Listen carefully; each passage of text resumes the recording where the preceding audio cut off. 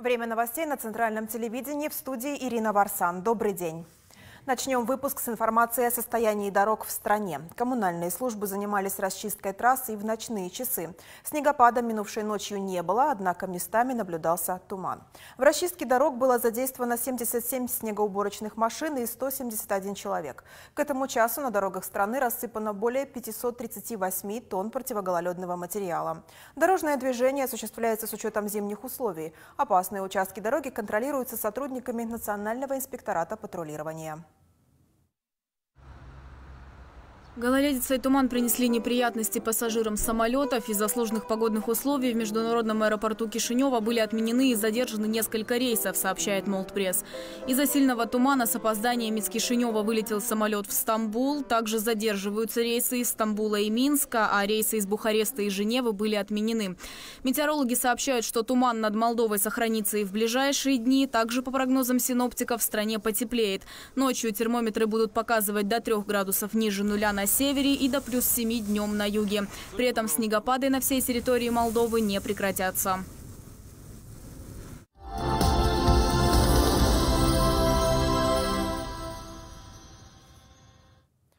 Центральная избирательная комиссия Молдовы сообщила о том, какие денежные пожертвования могут делать физические лица для политических партий.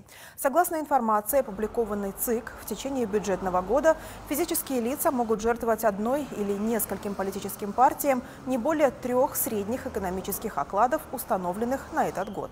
Пожертвования, превышающие лимит, могут осуществляться исключительно с помощью банковских операций. Напомним, средняя заработная плата в этом году составляет 6975 леев.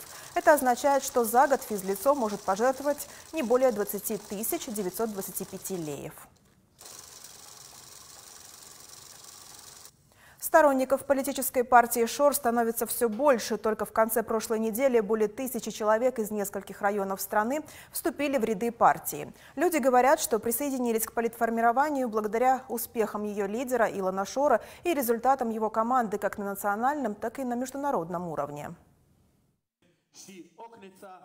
Стране нужны кардинальные изменения, убеждены новые представители партии ШОР. Они хотят, чтобы проекты, которые существенно изменили Аргеев, были реализованы и в их городах и селах. Пусть будет легче жить в стране, пусть нашим детям не придется уезжать в другие страны, пусть у них будет хорошая работа возле дома. Я за увеличение пенсий и пособий. Илон Шор хорошо справился с этими задачами в Аргееве, и он сделает это по всей стране. Другие обещают, но ничего не делают, а Шор делает все, что возможно для людей в нашей стране. Каждый видит, что сделано, и видит, насколько мало сделано другими политиками. Нам надоела постоянная бедность, мы хотим жить нормально. На конференции территориальной организации новых представителей партии приветствовал их лидер Илон Шор и другие кандидаты от партии. Они отметили, что после парламентских выборов 24 февраля модернизация инфраструктуры продолжится уже по всей стране. Впервые за 27 лет политическая партия не обманула. Политическая партия сдержала свое слово перед людьми. Три с половиной года назад я взял на себя обязательство перед аргеевцами сделать те изменения, которые мы сделали. И сегодня мне не стыдно выйти в город, смотреть людям в глаза, потому что я сделал все, что им обещал. Партия ШОР начала активную политическую деятельность в 2016 году, одержав убедительную победу на местных выборах в Аргееве. В настоящее время в партийных списках около 60 тысяч человек из всех уголков Молдовы. На данный момент официальный старт избирательной кампании дали пять политформирований. Это партия социалистов, ДПМ, избирательный блок АКУМ, Национально-либеральная партия и Народное движение «Антимафия».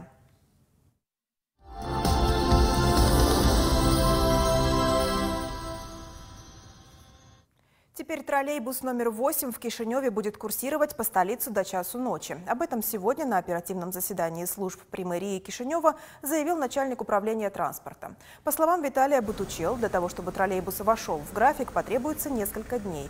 Планируется, что ездить по городу, согласно новым правилам, восьмой троллейбус начнет с четверга 31 января.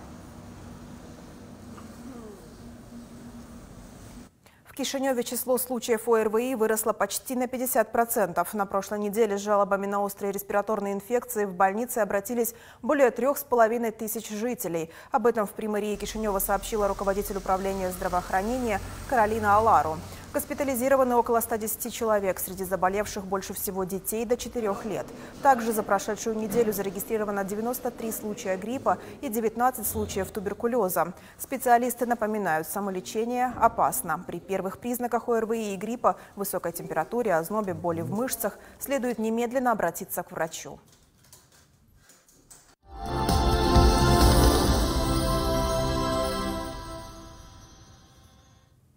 Почти 60 человек стали жертвами прорыва плотины в Бразилии. Об этом сообщают власти со ссылкой на экстренные службы. Увеличилось и число пропавших без вести. Их свыше 300. Чуть менее двух десятков погибших опознаны, около 200 человек удалось спасти. Таков предварительный итог бедствия на востоке Бразилии. Спасатели обнаружили погребенный под многочисленными слоями глины автобус. Компания, которой принадлежало транспортное средство, опубликовала список пассажиров. Прорыв дамбы произошел в пятницу. Потоки грязи хлынули на административные здания и жилые дома. При этом системы аварийного предупреждения не сработали. Дамба построена 43 года назад. Она должна была удерживать 12 миллионов кубометров метров воды. Таких сооружений в этом штате несколько. Это не первый прорыв дамбы в Бразилии. Предыдущий был в 2015 году, когда потоками грязи был полностью затоплен ближайший населенный пункт. Жилой дом взорвался в Гааге. В результате разрушения пострадали люди. Четверых доставали из-под обломков. До сих пор остается неизвестным, сколько людей находилось в домах и какое количество сейчас под завалами. По последним данным пострадали как минимум 9 человек, семерых госпитализировали. Под обломками еще могут находиться люди, точное число пока неизвестно. На месте ЧП продолжаются поиски. Спасательная операция осложнилась тем, что примыкающие здания были сильно повреждены и могли частично обрушиться в любой момент. Все жители ближайших домов эвакуированы в местный общественный центр. Взрыв прогремел вечером 27 января. В результате обрушился фасад трехэтажного здания. Трагедия произошла в Гааге, городе на побережье Северного моря в западной части Нидерландов. Нидерландов.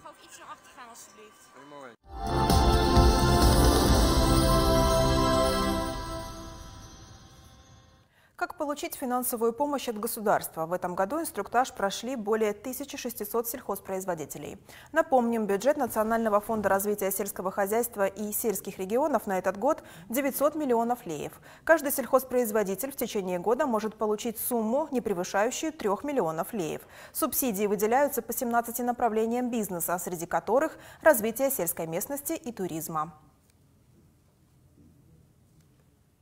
Первый юбилей отмечает единственный в Молдове колхоз. Он был создан всего месяц назад, но за это время площадь его земель удвоилась. Люди вступают в коллективное хозяйство. Вклад одних – пашня, другие приходят с садами и техникой, а кто-то вообще без имущества. В отличие от своих предшественников советских колхозов, члены коллективного хозяйства будут получать на руки деньги в соответствии со своим долевым участием. Как живет первый в Молдове колхоз, выяснял Степан Бугаев.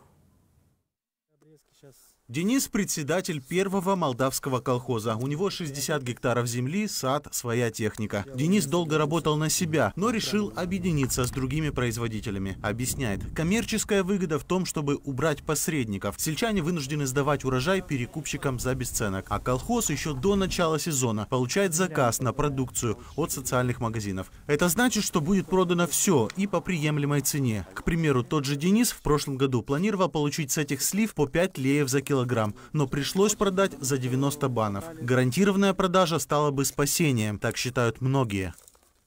Намерение вступить в кооператив я уже не знаю, нет уже. Я потерял счет. Все хотят, все пойдут в кооператив, потому что самая большая проблема это реализация товара. Потому что если даже что-то я продам по 5 лей, посредник еще свои 5, а на рынке она стоит 10. Почему мне бы самому не продавать за 10? Вот этот контракт, который сейчас у нас с РЛМ-магазином в это подразумевает это. Под заявку социальных магазинов это поле колхоз отвел под чеснок. Рядом на трех гектарах вырастет нут. На 10 гектарах будет фасоль, на 20 горох. Полевые работы еще впереди. Первая серьезная задача – подрезка. Никаких трудодней в современном колхозе нет. Оплата зависит только от вклада каждого. Например, Валерий принес в колхоз документы на 2 гектара земли. Говорит, мог бы и дальше обрабатывать сам свой участок. Но когда каждый сельчанин в поле агроном, высокого урожая не будет. Нужно привлечь специалистов. В колхозе, конечно, получится. Хороший председатель у нас. Обещает 5, 6, 7 тысяч. Будет постоянная работа. И стажа работа, я думаю, что будет. И не будем искать работу нигде. У него будет постоянно. А это у нас самое главное.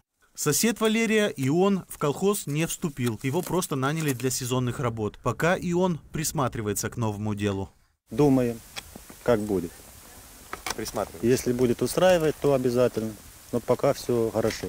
Иону не с чем будет вступать в колхоз. Нет ни земли, ни техники. Но двери и для него открыты. Решено, что такие колхозники просто получат меньше дивидендов в конце года, когда будет полный расчет со стороны заказчика, социальных магазинов. 100 магазинов это уже кое-что. Это очень большой плюс.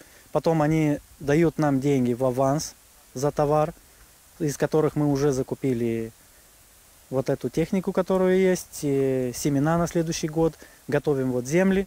Техники достаточно, даже предостаточно, потому что будет э, в середине февраля еще 4 единицы, 4 трактора, у меня есть 4, предостаточно. Среди планов переработка продукции и заморозка, в том числе вот этой ежевики. Нужны линии по производству джемов и компотов. Вопрос о долевом участии в закупке оборудования рассматривают партнеры колхоза – социальные магазины.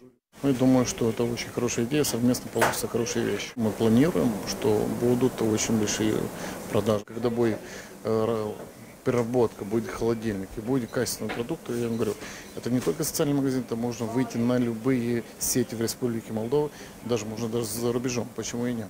Опыт аграриев, которые объединились в колхоз, подтверждают, без кооперации сельскому хозяйству не обойтись. Именно объединение позволяет решить основные проблемы – от финансирования работ до сбыта продукции на выгодных условиях. На этом наш выпуск завершен. В студии была Ирина Варсан. Хорошего дня и добрых новостей. Увидимся в 21.00 на Центральном телевидении.